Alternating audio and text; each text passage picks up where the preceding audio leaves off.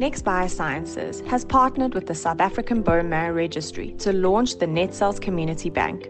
Through this, we hope to make cord blood banking accessible to more expectant parents and add to the list of stem cell donors in South Africa.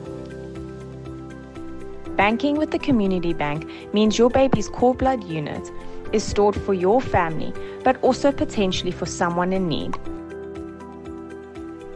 The unit is tissue typed and placed on the South African Bone Marrow Registry and would be used by whoever needs it first. If a sick person needing a transplant is a tissue match to the unit, it will be used by that person in need. And if the family needs it first, it is available to them.